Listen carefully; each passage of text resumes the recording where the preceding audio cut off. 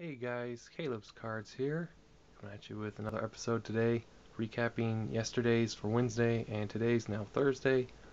Uh, TTM's had one come in on Wednesday, which was a really nice one, and uh, four for today, so uh, pretty decent mail, day for the past two days. Um, first, you guys have probably seen this before, not too long ago, got uh, Al Unser to sign the photo, and I uh, got his brother, Bobby, to sign. Uh, he signed blue on blue, so it is kind of hard to see, but I promise you it is there.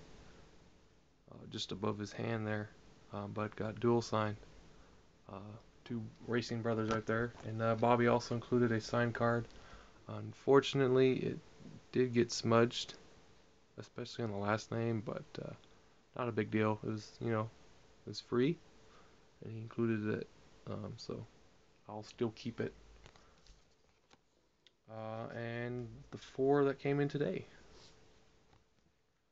So uh, we have two of two from Damon Huard.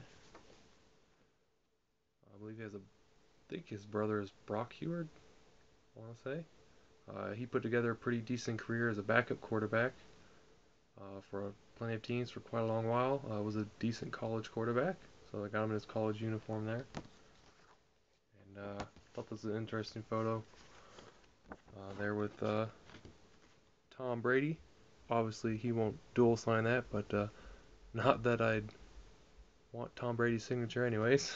um, I admit, as a Broncos fan, he is certainly a great quarterback and will go down as one of the greatest, but I just cannot stand his attitude, so I don't want his autograph. Don't even have any cards of him. I used to, but I think they'll sold on my collection a long time ago. Not autograph collection, just sports car collection. Uh, got former tight end the Philadelphia Eagles. He played for them for quite a while. Chad Lewis. Fortunately, got bent in the mail, but this is a, still a really nice photo. I uh, don't know who number 58 of the Giants is right there. If I could figure that out, then see if he signs and send a dual sign. That'd be really cool. But there's a signature. So got a touchdown catch right there. Thought that was a really nice shot. In case you're wondering, I get my photos from Pinterest. And sometimes Google. It depends. Um, don't know what happened here. It looked like something got spilled. Uh, Janet Evans. Maybe got it must have gotten wet. I don't know.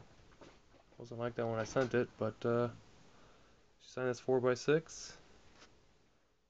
Uh, four-time Olympic gold winner. Um, I sent her a American Heroes autograph signature card.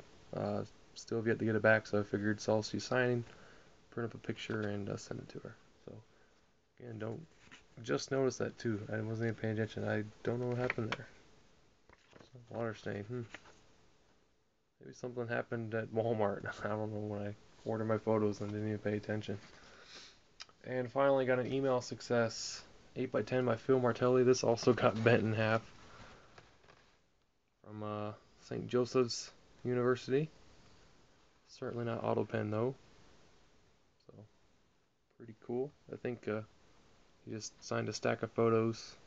There's a signature that looks legit. And then obviously the Caleb Best wishes part is different handwriting, so it's not him. Most coaches aren't going to have time to be able to do that. But uh, still, a nice 8 by 10 was free, his email. So I always make sure to thank him with a uh, thank you email back uh, anytime I get something back. I think that uh, helps you guys out later. You know, there's you know somebody's thankful for what they're doing, and uh, maybe they want to keep doing the free email. So that's my mail day today, guys. A lot of damages, but oh well, I'll still take it.